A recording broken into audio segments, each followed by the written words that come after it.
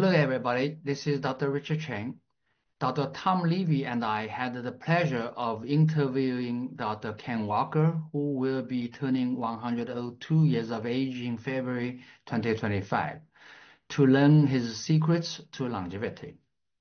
Dr. Walker, a renowned Canadian physician, columnist, and a prolific medical writer, survived a heart attack some 28 years ago.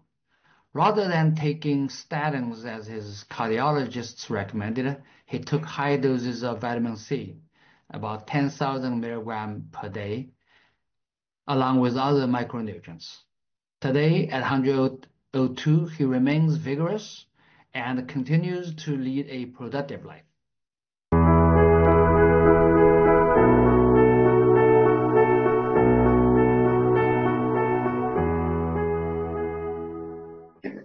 Actually, can I'd like you to, you know, talk a little bit more on this because recently, just yesterday, I had one of uh, my uh, clients uh, or, or fans. I've been training them for orthomolecular medicine, and she spent, she said that she spent two years to convince a family member, a patient of uh, ASCVD, heart, heart disease, to go on, you know, our orthomolecular method. However, she went to a local hospital in China and then she changed her mind immediately because the doctor recommended statins and uh, off the low carb diet. So she was, I mean, this friend of mine was pretty upset.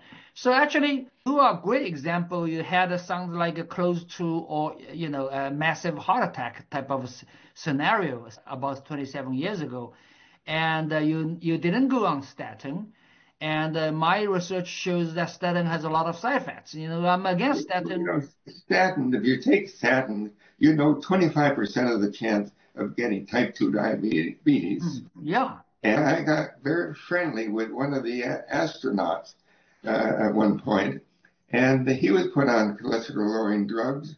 And one night, after being on them for a few months, he went home one evening. He didn't recognize his wife or his children. Hmm. They found he had a brain tumor. They did hmm. every test in the book and, nothing was found. They took him off the statins, and a couple of weeks later, he, he again recognized his children. So he wrote several books about the, the hazards of, of, of these drugs, pains in your legs, and so and so forth. So that I, I was aware of, of, of those facts, and you know I took it. I took a real gamble when I started uh, uh, taking high dose vitamins. And it wasn't until I realized I was doing the right thing when I read about Dr. Sydney Bush in Hull, Hull England, who, who, was, who was an optometrist and uh, would be giving uh, prescribe, prescribing contact lens to his patients who occasionally they wouldn't do the right thing, cleaning them when they get an eye infection.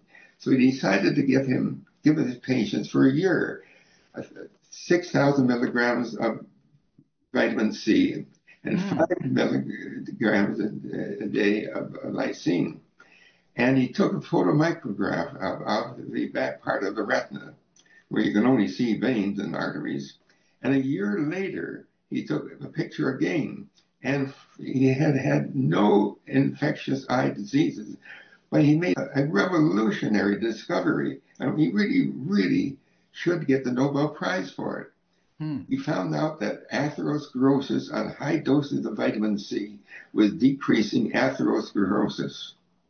Uh, uh, that, that should have made every the headlines of every newspaper in the world, and it didn't. And, and you said uh, this this doctor who found that uh, just on high dose vitamin C alone, this patient's atherosclerosis uh, reduced or reversed? Reduced and reverses. Yeah. I, matter of fact, I, when I read about this, I didn't believe it. I think that's totally wrong. I took one of my sons to Hull, England, interviewed him for three days, looked at before and after pictures, and uh, he, he he convinced me that atherosclerosis was going away. Unfortunately, Sydney Bush died a couple of years ago, and there's no one that that is carrying on that research, and it should be carried on.